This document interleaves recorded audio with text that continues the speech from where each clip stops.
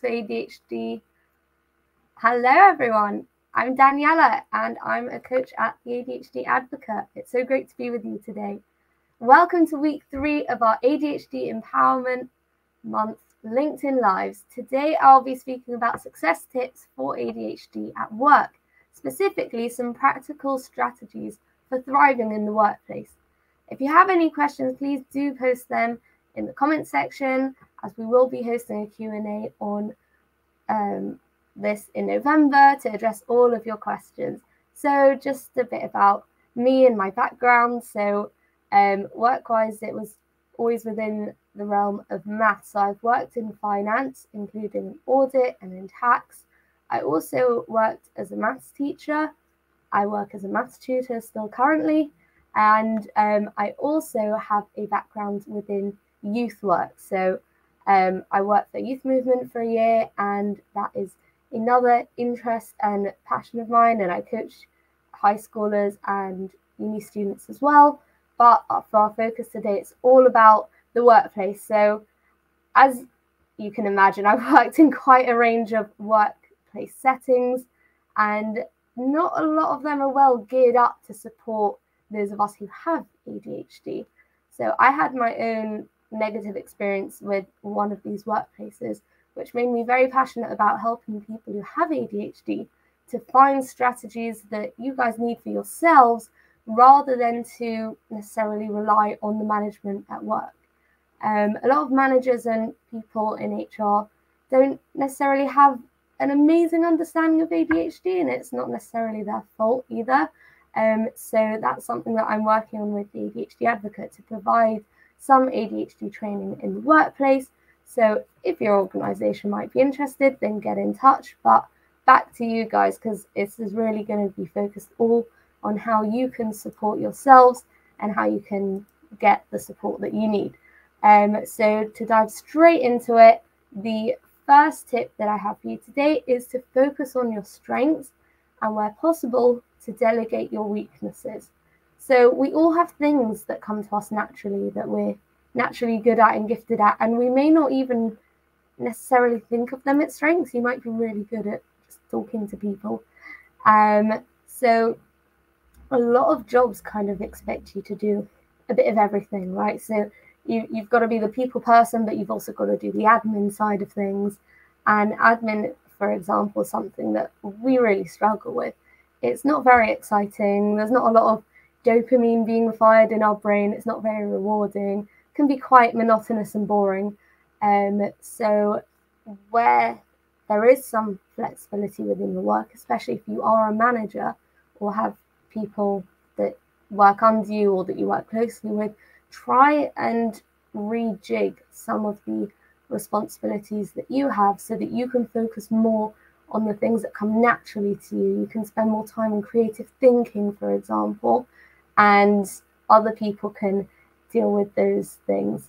Um, a second tip for you is to remove distractions from your workplace. Now, that might sound obvious, um, but that's something we can forget to do. So, for example, if you don't need your phone to do your job, maybe keeping it in your bag, or if you're working from home, keeping it in another space so it doesn't distract you. Um, and you know, there could be other distractions like just things that don't belong in the room. So you know, you might have some laundry sitting piled up on the side. Does that really need to be there? And then you're just constantly thinking about the laundry that needs to get done.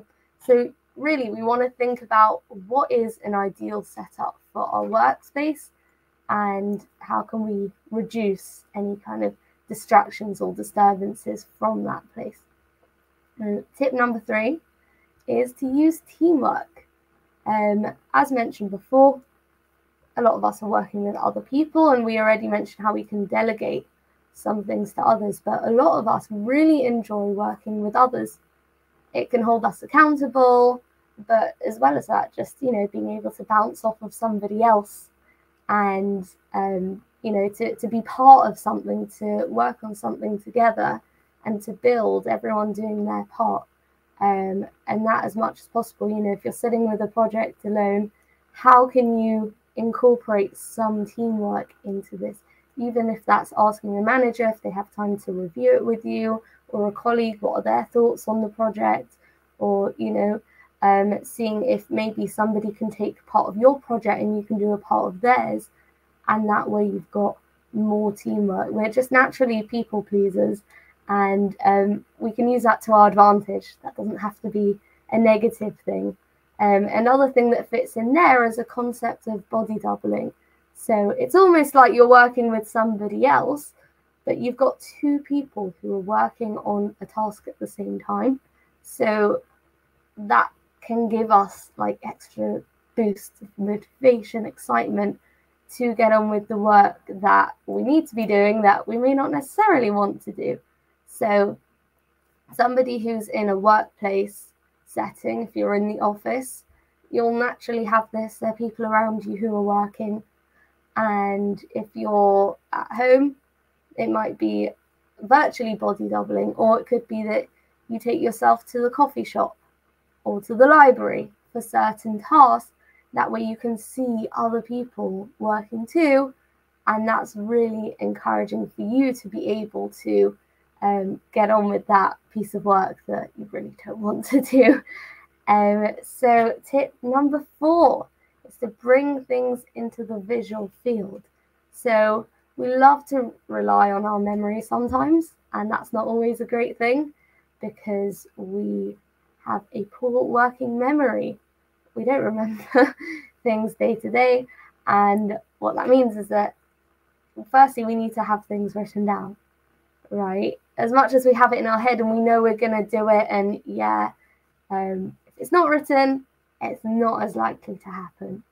Um, so if there's something that's really important for you to do, having it somewhere that you're just naturally going to see it. So either like a post-it on the wall, or you might have like words or note that you use to keep on top of tasks and to kind of like have it on the top there, or just you know a document that you're using all the time. That way, and, and make it visually appealing as well, right? Um, so you know not, you don't want to overcomplicate a color coding system, but you know, having categories for things can be helpful as well. And yeah, having it visual, having it in our face is going to remind us to do that thing that needs to be done. But you know, you don't necessarily want to see everything up all at once. So, you know, kind of thinking about what works best for you and how much you want to see in one go. And having written every having everything else written down somewhere else. Um, tip number five is to plan SMART goals. So I'm not going to speak in too much detail about this. Stephanie mentioned it yesterday with her program that she does with um, a lot of business owners, but and and uh, business leaders.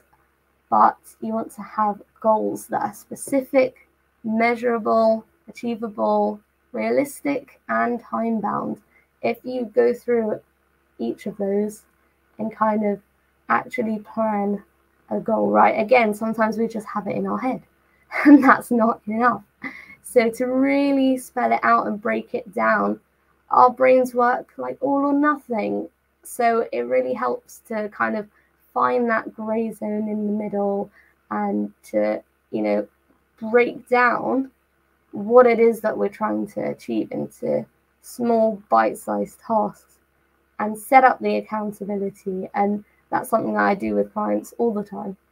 Um, and you know might be worth finding a coach but we'll come on to that. Tip number six is all about structured flexibility so what I mean by that is that on the one hand we're very resistant to having structure um, you know we kind of like the idea of being free and being able to choose what we want to do in the day and not being limited by having to do things at set times. Um, on the other hand, if you have tried to just, you know, go free without a plan and no structure, um, how well has that worked for you? And the answer is that we do need structure, but at the same time, we don't want to feel limited by it. And once you realize that we actually do need the structure, And that can be our best friend. So we're no longer pushing things off and, you know, leaving things to the last minute, adding a lot of stress into our lives, but finding the right balance with flexibility, which we also crave and desperately want, um, is the way forward. So, what I mean by that is, let's say, for example, you have a rough guide for yourself that when I start my workday, the first half an hour or so, I'm looking at emails. The next hour is a good time for me to have meetings, um, as is the hour straight after lunch.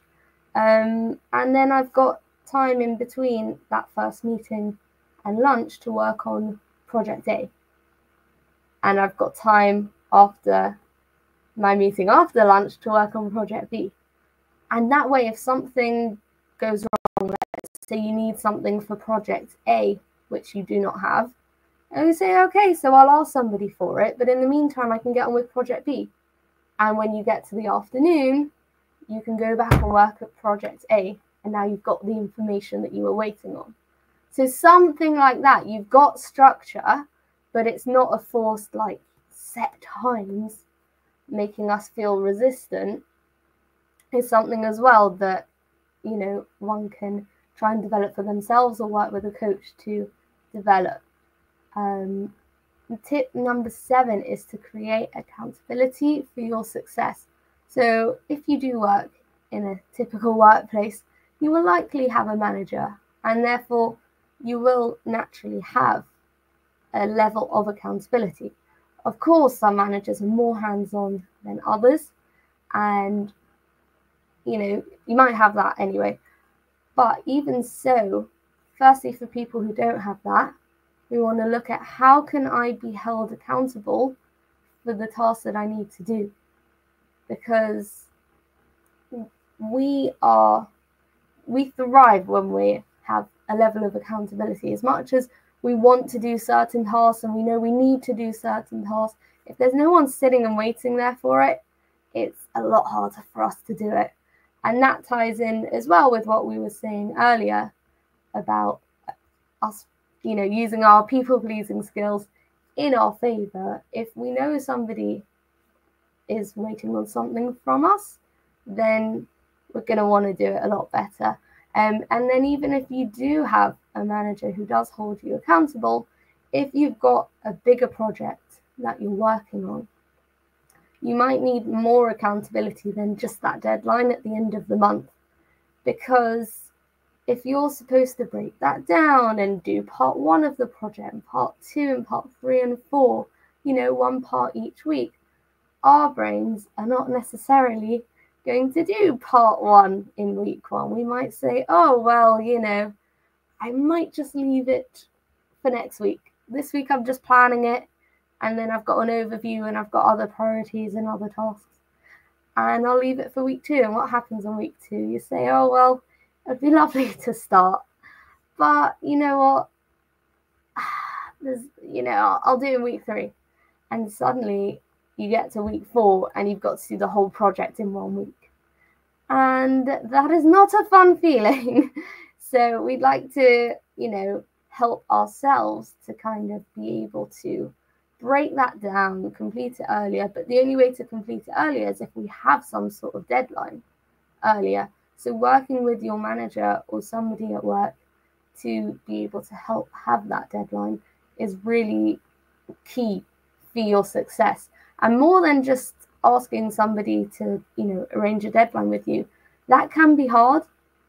It can be really hard to be proactive and to set it up and to you know and maybe your manager's not the type of person who's going to be able to do that for you. So a really great trick is to actually flip it on its head rather than you having to ask your manager oh like i want to do this part here do you mind checking in on me after a week? You you turn it around and you say right i am doing this section and i'm going to send it to you by the end of week one. That way you've put the onus onto yourself. They are expecting it from you but they're not going to chase you. So it brings that level of accountability without having to ask for it. They are going to be sitting there waiting for your project. And even if they don't mind so much whether you do it or not, the fact that you've said you're going to do it and you know they're expecting it brings out that people pleasing element as well and will get us to, you know, get our act together and find a way, find the time to do it. Um, and to then be able to complete the project. Tip number eight is that praise is your secret weapon. So, as much as you can, when colleagues compliment you, when managers compliment you and they tell you what you're doing great, make a note of that because our brains are so easy to forget. Not only just to forget, but also we're we've got this RSD, rejection sensitivity dysphoria. So anything that's negative that is said is going to stick with us so much so that you actually need four positive things to outweigh one negative comment that has been made. And how are we going to get those four positives in that moment is if we already have it written. And if we don't have to rely on our difficult working memories to bring to us all of those positive things. Um, so creating a list for yourself, either on your computer or written, where you note down anything positive. It doesn't even have to be praises from other people. It should also come from yourself. So if you say, oh, you know, I'd actually been struggling with that task before, but now I'm doing it so much better than I ever did, that is when you kind of want to make a note of that. Tip number nine is to seek specialist ADHD support. So, obviously, as mentioned, a lot of managers and colleagues don't necessarily understand ADHD and therefore are not necessarily able to support you the way that you need it.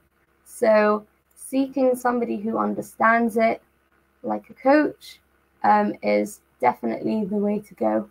Um, and there are a lot of therapists who also, you know, they might be able to support you in some areas, but if they don't really understand ADHD, they might kind of give you right step by step, like, you know, you can do this and this, but it doesn't work for a neurodivergent mind. You know, um, for example, oh, if you just like make a plan and then stick to it, then that should work. But you know, we find starting things hard, we find sticking things hard. Um, so it really needs somebody who's going to understand you and your brain and what support you need to be able to thrive. So definitely seek the ADHD coach that's right for you. The ADHD advocate have about 15 for you to choose from, so no shortage there. Um, and some like me will specialize in helping professionals. Um, so think about what you'd need from a coach and what would be right for you and get in touch.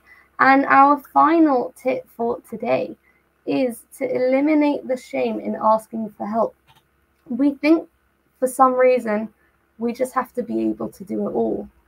And that could be because growing up, we were expected to do certain things that we really struggled with, like being organized, like showing up on time, like not getting distracted, etc. And because we had all of those expectations on us that may have been unrealistic, we learned that we need to be able to do the things that we can't do as well as the things that we can do. So basically, we have to do it all, right? And it's really hard to actually say, no, I'm struggling with something. Please, can I get some support around here? And it's really hard to also be self aware and to realize that something's not working. And to then say that, even if you don't know what it is, sometimes the fact that we're not really sure why we're struggling with a task means that we're not asking for help there because we feel like we have to be able to articulate what it is that we're struggling with. And you could have a manager waiting for a piece of work saying, Why haven't you done it? And you don't know. So being able to eliminate that shame, there's nothing wrong with not knowing what's going on. There's nothing wrong with not being able to do it all. I mean, think about this in your life. Do do you do everything for yourself? Really? Have you ever hired a babysitter, a gardener, an accountant, a cleaner? You know that if you really think about it, there are people who we have asked for help from in other areas of our lives, even if that's not paying someone, right? It Could be just, you know, asking a relative for a favor and learning to remove the shame and to ask for that for, for yourself at work is going to be a massive game changer in you actually being able to move forward with the tasks and not get stuck in the process. So, hope that you have found these tips helpful. If you would like to be in touch, you can find all of our details on the ADHD Advocate website and have a wonderful day. Good luck with your work and see you soon.